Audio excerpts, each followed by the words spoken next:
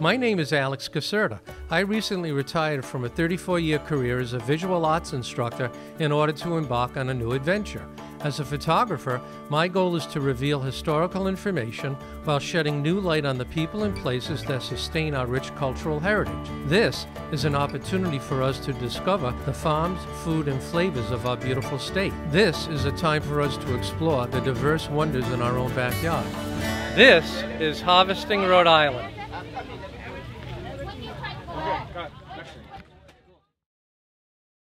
I'm here with Don Joslin today. We are down in Hopkinton, and Don is the president of the Rhode Island Beekeepers Association. Don, how many hives do we have down here? Um, at my current property, I have 20 hives. Um, some are in different stages. I have hives that are three years old, hives that are two year old, and hives that are one year old. How many years will a hive actually last? Um, as long as you keep a fresh queen in and go three to five years with a hive. You actually teach a class. Myself, I teach at URI. Um, there is uh, Betty Minucci for the Rhode Island Bee Association that teaches at RIC, uh, Rhode Island College, and also at URI is Steve Burke. He also teaches classes. Now, if somebody wanted to actually uh, begin uh, with their own hives, uh, where would you go and buy the kits? I would suggest anyone that wants to start beekeeping, take the class first. Um, once you get the class under your belt, the instructors will tell you where to purchase bees. There's all sorts of companies out there. There's local ones in Rhode Island. Usually most of them come from either Georgia or California. Um, there's other states out there that produce bees, but they're the biggest ones. There seems to be a, a big surge in interest in uh, beekeeping uh, recently within the past few years. Incredible. Everybody wants to try beekeeping. Um, there's been a lot on the news about colony collapse disorder. Don, what can the average person do to help bees? Um, one of the biggest things people can do is plant flowers that produce nectar and pollen um, for the bees to consume, which there is lists of pollinators. You can go online and find them. Flowers. I know one that we have that is beneficial to the um, bees is uh, butterfly bush. They enjoy it in oh, yeah. in um, September and October. It blooms, and it's one of the few things besides goldenrod that's out that time of year. And the bees pack it away for their winter stores do they stay with one particular hive or will they jump from one hive to another hive? Okay, you have three bees in a hive. You have a queen, there's only one. You have worker bees, there's thousands of them. And you have drones. Drones are the male bee. Now, the drones in the hives, they'll drift from hive to hive. The rest of the bees have their own hive, they'll stay there. They will not, they'll when they go out to get nectar, they'll bring it back, or pollen, they'll bring it back to their hive. They usually will not drift. If they drift, they'll get killed. There's guard bees in front. Each bee gives off a different smell, and they'll know it's from a different hive, and they'll kill it. Or they'll fight it till it leaves and goes to its own hive. You, you say a different smell. Um, do humans give a smell off that the bees detect? Yes. Um, almost every animal gives off a fear pheromone. Um, you don't smell it, but if you were a lion or a tiger, they can smell it with their tongue. Well, insects can pick up on it too. So if you are deathly afraid of bees, they're going to know that. Um, they will fly to you to sting you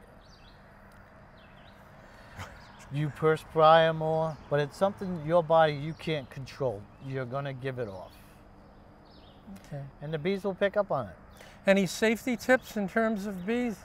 Move slow, and uh, the last thing a honeybee wants to do is sting you because it's the last thing a honeybee will do. When they sting you, they die. They die. Um, and if you've got a hive and you're afraid to go in it, if you pick the right time of day, the bees don't mind. They're busy as a bee um, you can go through a hive without ever getting stung. a hive, if you're going at the wrong time, the bees will try to protect the hive. So, and never ever stand in front of a hive because that's where the bees are coming and going. If you block them, you're going to get stung. You always stand behind the hive. So the, the actual production or collection of honey occurs how many times in a season? Actually, I'll take my honey all summer long if the, the frames are completed. Um, Okay. They have to be completed. The bees cap the honey. When it's capped, you can take it. Before that, it could ferment because it's not dry enough. And you can actually open up the top of the box and see at what stage the production is actually in. I will show you that. Yes, Okay. it's it's a very neat thing to see. Um, the bees, they actually consume the nectar in their body. They produce honey. They spit it back into the cell. Um, if you look at it and it's shiny, that means it's way too much water in it. So the bees still have to dry it. When it gets a haze on the outside of it, it's just before the bees will cap it with wax, and it's done.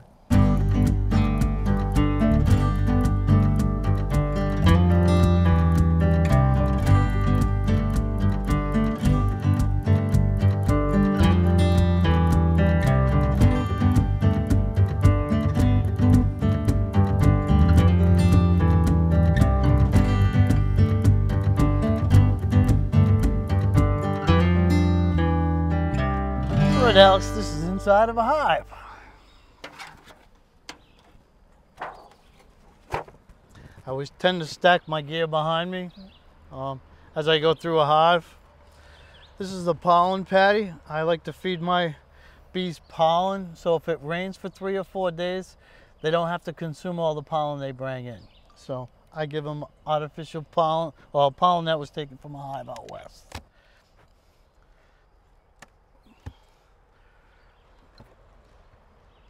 These are the honeybees.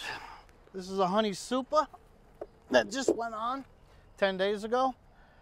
There's not a lot of bees in that because they have it's all drawn out. Drawn out wax. I'll show you what it looks like. I reuse the supers every year after I've taken the honey out of them. This is beeswax. Um, they haven't started putting honey in it yet. They're just starting to clean it up, the bees, because it hasn't been on long. But it's it's wax drawn out. The bees will put the honey in it. Now they create the beeswax. Bees, as they're a nurse bee, makes wax. Their whole body will, from different segments in their body, secrete wax, and they make wax, and they build it into wax, um, into honeycomb.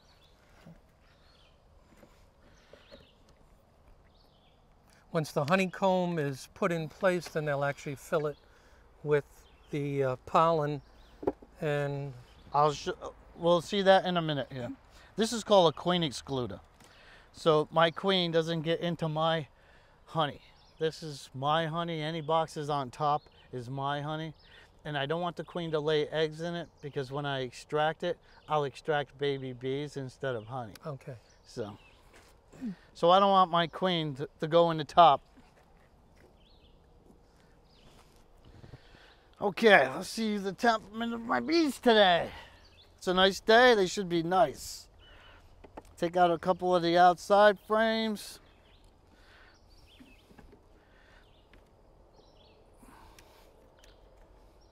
Okay.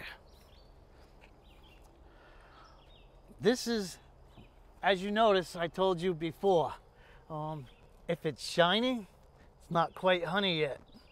The bees have spit it in. This is shiny, it's reflective, it's honey, but it has not been dried by the bees.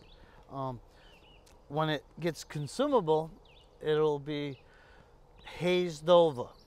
Um, the humidity inside of the the honey will be around 18, 17 and a half to 18 percent, um, which means it will last up to 2,000 years. Now those are workers we're looking at? Yes, this is workers, worker bees. They're actually spitting honey. The bees glue everything together with propolis. This is very, very shiny, as you would like to see. It's Yeah. it's new honey. Got a shiny. This is honey that has already been capped. Oh, okay. You can see the difference. Yep. This is capped honey.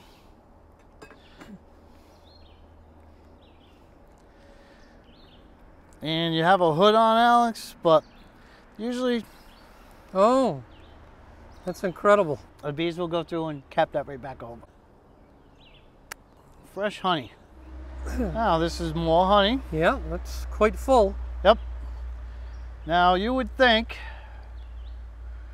honey doesn't weigh a lot. Hold that, Alex. It's quite heavy. Weighs about seven to eight pounds, Okay. one frame. There's a lot of honey in here. Don, how many bees do you think we have here? Um, this hive only has about 40,000 by the looks. And right, right in front of us. Uh, right in front of us, there's only about around, around a thousand bees on this frame. They're all doing the same thing. They're spitting honey into the cells. As you notice, see how they started capping on top? yeah, yeah. That's where they first started spitting in, probably the beginning of the week. Um, They work their way down. yes, they will work their way down.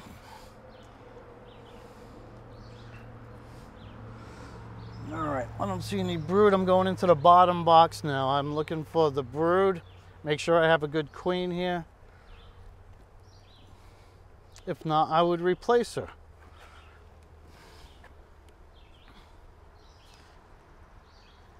It's all part of hive management. Now, a lot of people are under the impression the smoke puts the bees to sleep. It does not. The smoke just blocks them from giving off the pheromone that says, sting me. Because if one stings you, it tags you, and all the rest will try to follow it and sting you also. So the smoke stops them from giving off the pheromone that says, sting me, sting me. Oof, this box weighs about 45 pounds.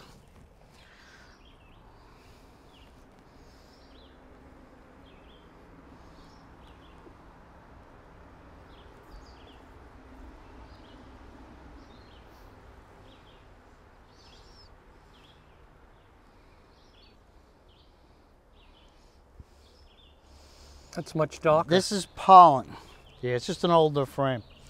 But see the different colors? That's all pollen in there. This is the outside ones. The bees tend to rob some of the wax and use it elsewhere. So once in a while you'll get holes in your outside frames. But that's why I wanted to check it. Oh, okay. There's a queen here and she is laying out. Oh, okay. Let's see if we can get the sun behind us over here. And if you look in there, they're all baby brood just starting to to hatch. So I should be able to find a queen. Now she'll be larger than the other bees. Yes, she will.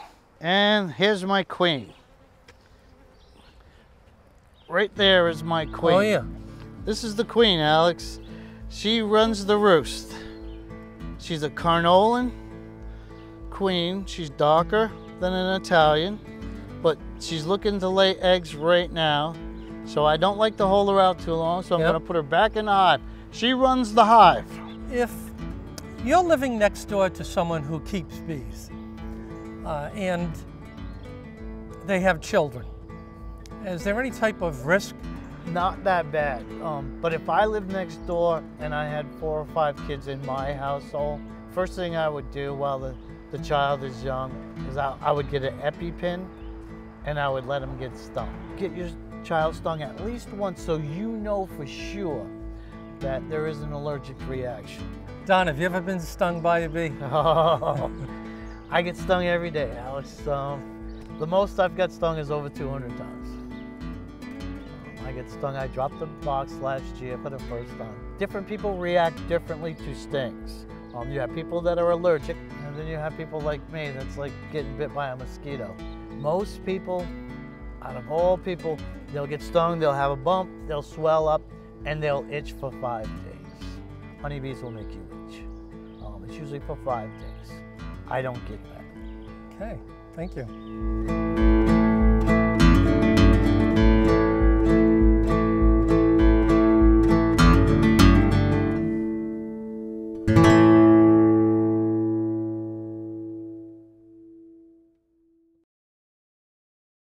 We're here at Wicked Tulips today in Johnston, Rhode Island, and I'm here with Carrie Ann and Jeroen Koeman from all over the place, really. Yeah. I mean, started off in Holland, and you ended up on the West Coast, and then you went to Virginia, and now you're in Little Rhodey, Yeah. which is terrific. Um, you have how many acres here in this farm? Well, we are leasing. We're leasing about five acres. Uh-huh.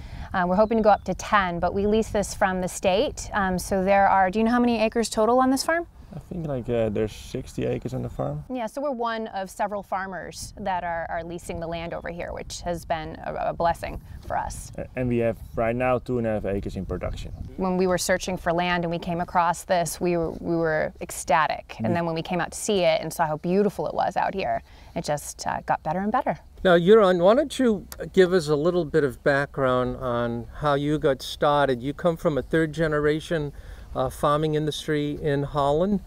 Yes, I uh, grew up in Holland on a tulip farm. And my family has a 150 acre tulip farm. It's a medium sized uh, company, and uh, there are uh, there are, as you know, uh, in Holland many many many tulips. In total, I think 20,000 uh, acres of tulips. And uh, 10 years ago, I uh, had a job offer in uh, Washington State, and so I moved uh, over there to become the grower of a big farm out west in Washington State, and and then I came to uh, Virginia in 2008 and met Carrie Ann, Yeah. and we started uh, soon after our own business. And if you went, when you went to school, when you went to college, you studied uh, business engineering? or- Yes, indeed. Like I am the uh, I'm the little brother of a family of uh, four boys. So my, my three older brothers, when I was young and working in my school vacations on the farm, I think always uh, were able to do the fun the fun farm jobs, uh, driving the tractor, etc. And and I always felt like the little boy, the little. Uh, the little one who uh, who needed to do the, the less cool jobs, and so when I was a teenager, farming was for me not the ideal way of living, and I decided to study something completely different. But then I was uh, done with my study, uh, and I uh, realized that working for big oil companies or something is not really my uh, my passion, and uh, I'm very glad I uh, pursued my uh, my dreams again and and, and uh, went into farming.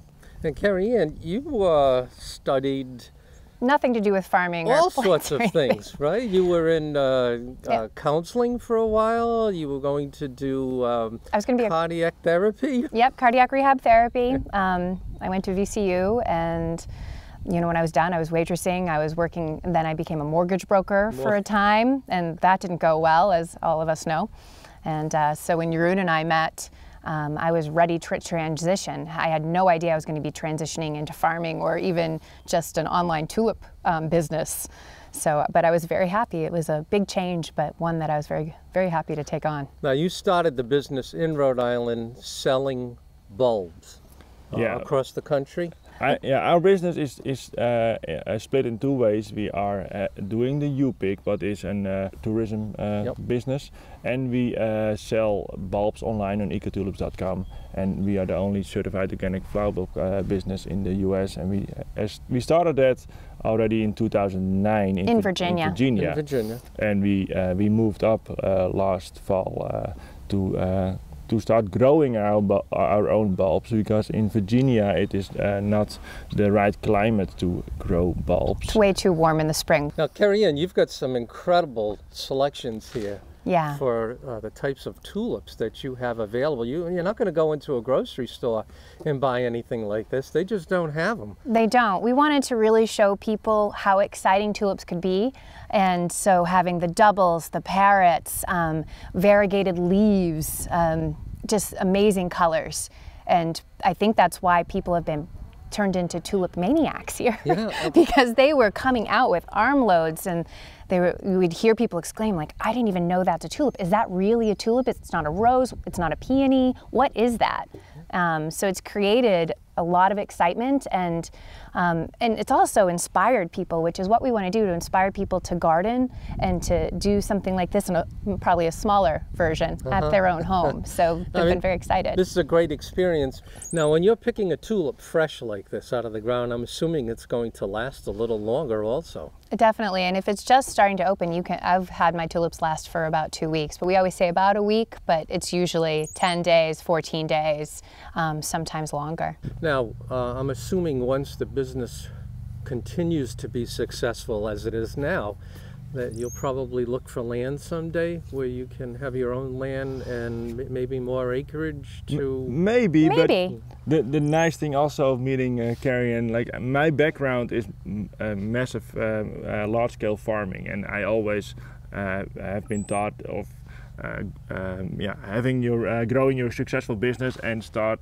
to invest to, uh, so you can grow your, your business bigger and uh, Karen taught me that it's not only important to uh, to grow bigger and make more money but also to grow a happy life and Yes. so when we make when we are able to to make a sustainable financially business with two and a half acres or maybe we go to five acres. But uh, and we can uh, manage that and uh, when we uh, organize our, our event we can walk around with smiles on our faces and we, if we see the smiles of the people faces then we have our accomplished our dream. And when we make this 10 times bigger with 10 times more uh, visitors I think it's going to be a More lot work. more stress uh, more on our stress, shoulders. more work, yeah, more headaches. uh, earlier, you were telling me how the uh, the tulip bulb in Holland was worth more than gold at one point.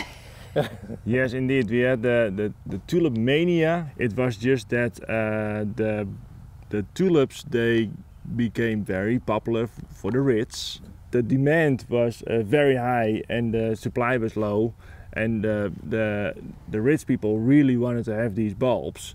And the the fun uh, and, and, and interesting part is that it became an, an uh, a form of, of trade that. Um, that even even the the, the regular uh, the regular people were uh, uh, starting to invest in this in, in the tulip bulbs and selling them to the to the rich and so eventually the, the the prices of the bulbs went skyrocketing high and uh, the, the yeah one time one bulb were, was sold for an, uh, an house in Amsterdam it's an amazing story so they actually traded a house for a bulb. yeah Yes. was a- That's incredible. It It'd be like four ox, 10 chickens, four pigs. It, it was amazing when you would add it up. What it is is the beauty of the tulip. I mean, if you look at these ones behind us or to the right, they're, they're just amazing. And especially in New England, I think it creates a little tulip mania here because you have those long, cold winters. And then this is like the first really bright spot that comes up. It's like a herald of spring. The varieties are amazing. And when you have something that's not just like a plain color, that's like has flames of red and yellows and greens, it just brings up this natural excitement in people. Yeah, the tulips are We very bright, vibrant. We saw it here. I, we, on average, are used to people getting about eight to 10 varieties or eight to 10 um, flowers when they pick. Here, they were leaving with armloads. And I think it's because we really changed the varieties that we had to offer to make them more exciting.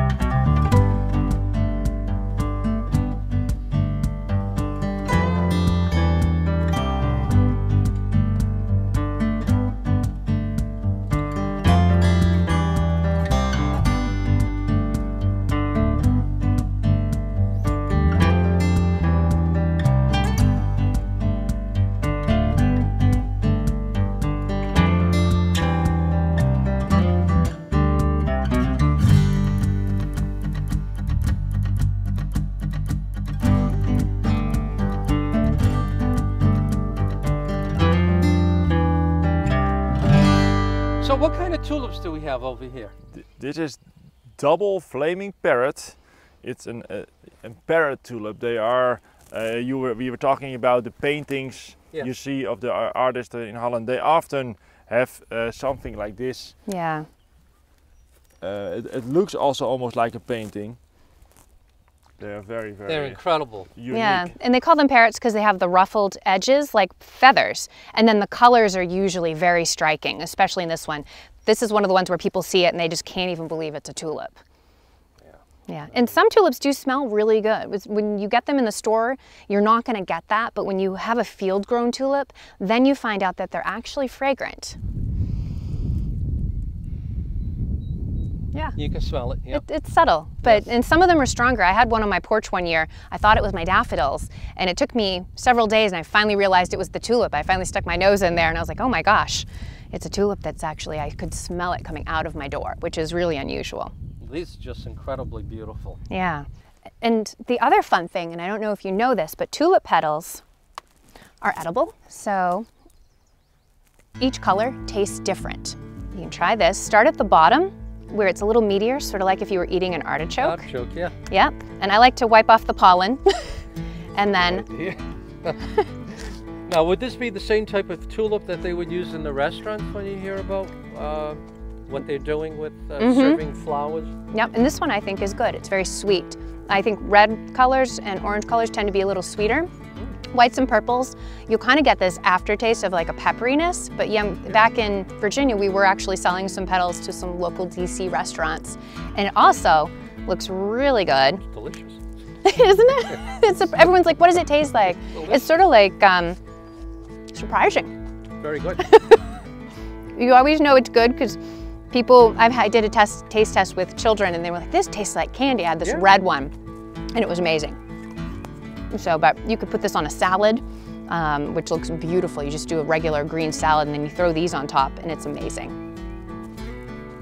So, but who knew? Tulip petals. well, because they use don't they use violets also and uh, Yeah, there are a lot of nasturtiums, violets, um, tulip petals. So, yeah, it's very good.